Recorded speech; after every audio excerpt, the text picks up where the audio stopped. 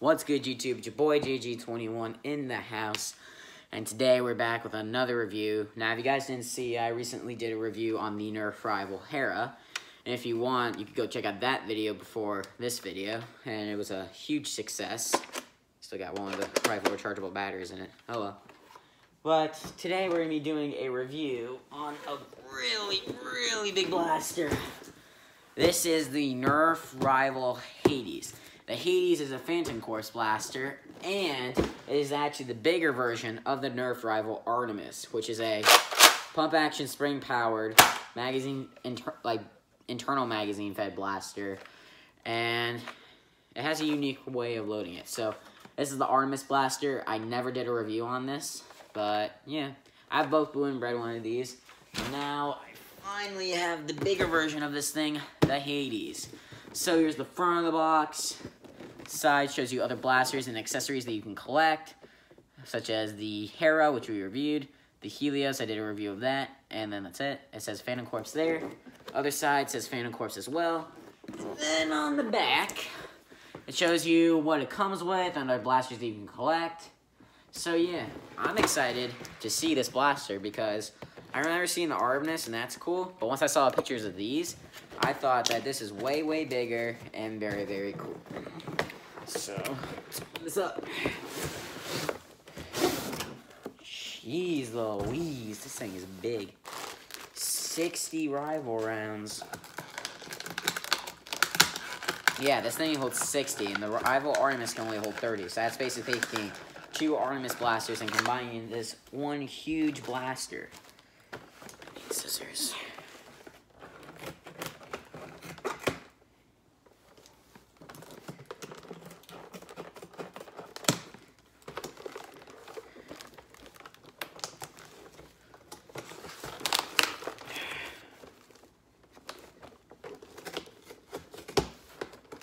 Go. Oh my god, this thing is huge. Okay, so, included is the blaster itself, 60 rival rounds, team indicator flags, and the instructions, which I did not pull out. Oh well.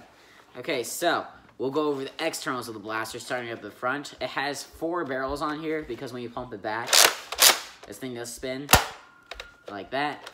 And then this is the Phantom Corpse logo. Here's the prime handle on the bottom.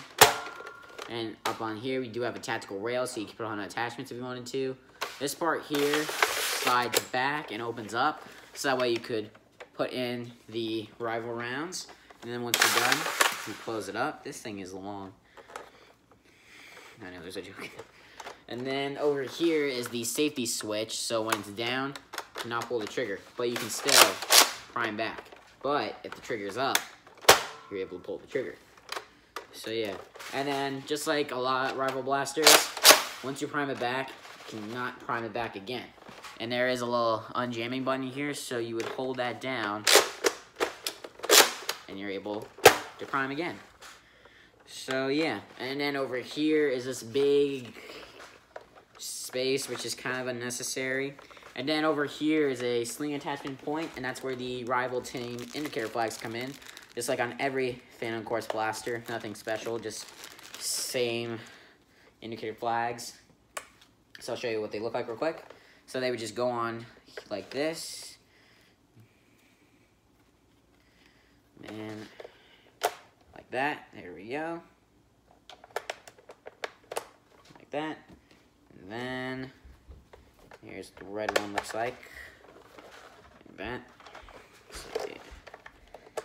Alrighty. So, 60 rival rounds this thing takes. And, like, it's very... You could do this with it. Because, like, here's the Artemis. This thing is, like, so bigger. Like, get another Artemis, and you got a Hades. So, yeah. It is very, very big. So yeah, and it does feel comfortable because on this one you would just do that, like no one would do this. But Nerf has actually made something where you, you can put it against your arm and be so comfortable. I like that. Okay, so now we're gonna load the rival rounds. Now, this has three tubes on it, and I'm guessing that each tube takes 20 rounds, since there's 60 in total. And just and on the Artemis, each slot takes uh, 10 rounds. So yeah. So we'll go ahead and load that up. This might take a while, so sit back and relax and enjoy this loading time.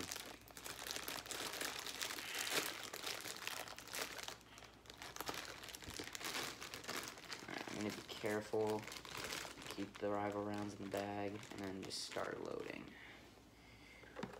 It has it has a big space though. It is very very big.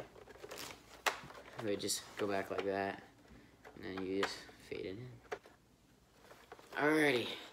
After that long time, it's all loaded up. Let's see how it fires.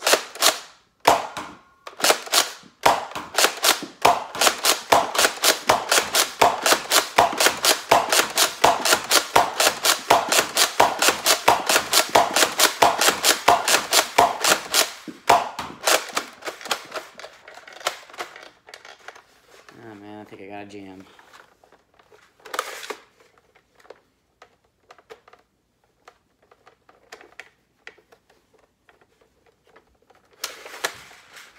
I think I got it. Another jam? Seriously? Oh, man.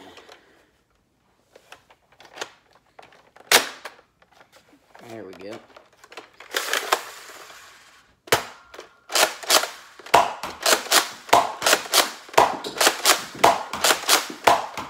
And if you want to, the blaster is also slam fire, so that means if you hold down the trigger and just keep pumping it up,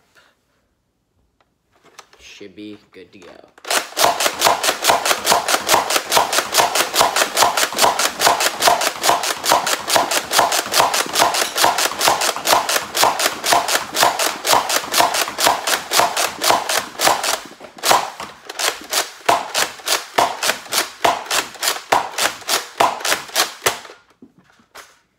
Wow. This thing is huge and performs very, very well. I'm happy with this. This is a very cool blaster. It's big too, so. Yeah. That is it for this video pretty much. Big, big blaster compared to the Artemis. So, that's it. I hope you guys liked this video. Like and subscribe. Check out all my videos at JG21. Share my YouTube channel with your friends. Turn on post notifications. Follow me on my social media links. I'll put those in the description box below. And I will see you guys next time. Remember, it's Nerf or nothing. Peace.